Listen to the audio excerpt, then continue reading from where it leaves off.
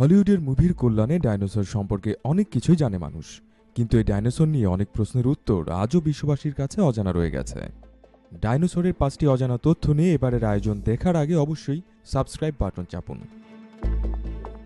প্রথম dinosaur. Brontosaurus Tyrannosaurus, ভেলোসিরপ্টর এরকম বেশ কিছু ডাইনোসরের নাম আমরা শুনেছি। কিন্তু সৃষ্টির প্রথম ডাইনোসর কোনটা তা কি আমরা জানি? কিছুদিন আগে নিয়াসোসরাস নামে একটি ক্ষুদ্রাকৃতির ডাইনোসরের ফসিলের সন্ধান পান গবেষকরা। আকারে কুকুরের সমান এই ডাইনোসরদের প্রধান খাবার ছিল উদ্ভিদ, পোকামাকড় আর ছোট ছোট প্রাণী। তবে একেই বিশ্বে প্রথম ডাইনোসর ভাবার সুযোগ নেই। এটা এখন পর্যন্ত বিজ্ঞানীদের খুঁজে পাওয়া সবচেয়ে পুরনো ডাইনোসর। সবচেয়ে বড় ডাইনোসর। বিগত বছরগুলোতে খুঁজে পাওয়া ডাইনোসরের ফসিল থেকে আমরা জানতে পেরেছি কোন ডাইনোসরগুলো আকারে বিশালাকৃতির ছিল। কিন্তু সব ডাইনোসরের ফসিল নিয়ে পর্যাপ্ত তথ্য না থাকায় কিছু কিছু ডাইনোসর সম্পর্কে জানা যায় যাদের দৈর্ঘ্য একশো দশ ফুট বা তার বেশি ছিল। কিছুদিন আগেও ধারণা করা হতো সিসমোসরাসটাই ছিল পৃথিবীর সবচেয়ে বড় ডাইনোসর।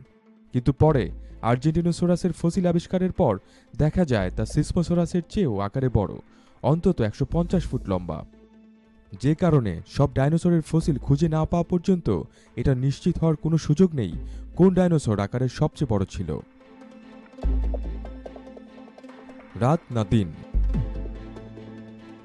ডাইনোসরদের নিয়ে এখন পর্যন্ত একটি বিষয় নিশ্চিত হওয়া যায়নি, তা হলো এরা শিকার করত কখন, দিনে না রাতে।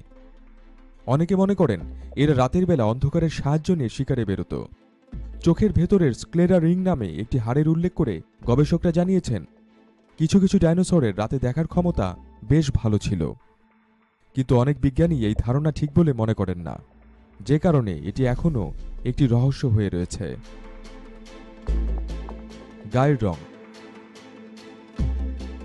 ছবি বা মুভিতে ডাইনোসরের বিভিন্ন রকম গায়ের রং দেখতে পাওয়া যায়।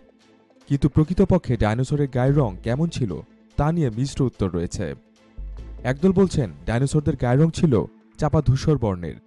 অনেকটা আজকের দিনের হাতি বা জলহস্তির গায়ের রঙের মতো। আরেক দলের মতে, ডাইনোসরদের গায়ের রং ছিল বিচিত্র এবং উজ্জ্বল। প্রজননের জন্য সঙ্গীকে খুঁজতে বা অন্য প্রজাতির ডাইনোসর থেকে আলাদা করে চেনার জন্য ডাইনোসরদের গায়ের রং আলাদা আলাদা হতো। বিলুপ্তি।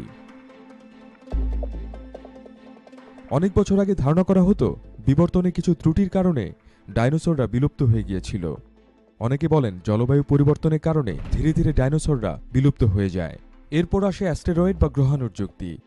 বলা হয় একটি বিশালাকার গ্রহাণু আঘাত করেছিল পৃথিবীর বুকে, আর এর প্রভাবে রাতারাতি বদলে যেতে থাকে পৃথিবীর জলবায়ু, আর এতেই বিলুপ্ত হয়ে যায় ডাইনোসররা। বলতে গেলে ডাইনোসরের বিলুপ্তির পেছনে এই যুক্তি বেশি গ্রহণযোগ্য। তবে অনেকেই আছেন যারা মনে করেন ডাইনোসরদের বিলুপ্তির পেছনে রয়েছে সম্পূর্ণ অন্য কারণ। ভিডিওটি কেমন লাগল তা জানাতে অবশ্যই কমেন্ট করুন। ভালো লাগলে লাইক দিন শেয়ার করুন, আর অবশ্যই সাবস্ক্রাইব করুন ফানি ফ্রগ ক্রিয়েটিভস চ্যানেল